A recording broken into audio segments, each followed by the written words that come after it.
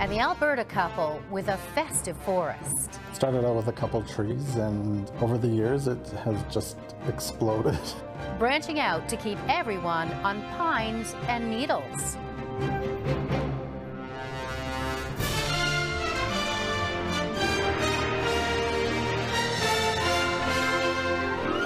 CTV National News with Lisa LaFlamme. Reporting tonight, Beverly Thompson. We're going to visit a couple at their home in Alberta who share their space with dozens of themed Christmas trees. As CTV's Janet Dirks reports, it's a place where thoughts of a holiday jingle can quickly turn into a walk through a magical holiday jungle.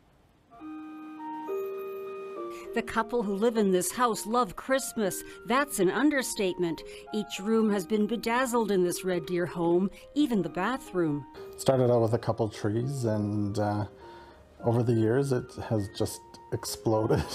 to what we are now. Tom Kereluk and Vince Jackman have been decorating their house for the holidays for 13 years. This year they've set up 88 trees, all artificial, and thousands of decorations pack the place. It's an obsession of, I would say, Vince's for the love of Christmas. And uh, we just grew it. There are traditional looking trees, but this one is upside down. That's kind of my Victorian tree. And so many themes a poinsettia tree, a Star Wars tree, and a rainbow hued pride tree. A candy cane tree, a tree from ornaments from Venice, a wilderness tree, a tree that uh, we put all the ornaments from people that made us ornaments over the years. There is a pink tree. Ballerinas, purses, everything. And a blue tree, an orange and silver tree. Orange and silver look good together. And there are trees with a Las Vegas groove. Name it and it's likely here. Just all different types of trees. They all have different personalities. This isn't just about decorating, it's about raising money. This year for the Central Alberta Humane Society, with tours and a special evening to view the trees. We raised over uh, $5,100. Yes, this is an obsession, but one that spreads holiday cheer and gives the couple a lot of joy.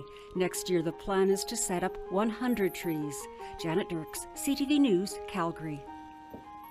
And that is it for us for tonight. I'm Beverly Thompson for Lisa LaFlamme and everyone in the National Newsroom. Thanks for being with us. Have a great night.